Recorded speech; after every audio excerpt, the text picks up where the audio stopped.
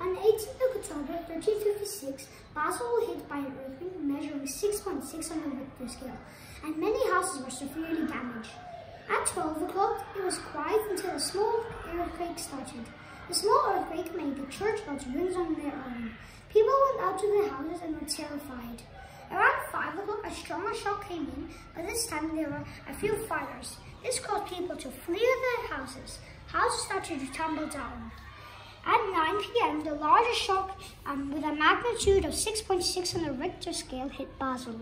People were scared, people were scared.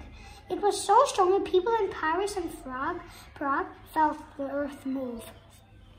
Five towers from the Münster fell down, and two of them fell into the Rhine. In the big earthquake, fires started to spread around buildings. The fires were caused by many candles falling onto straw and wood.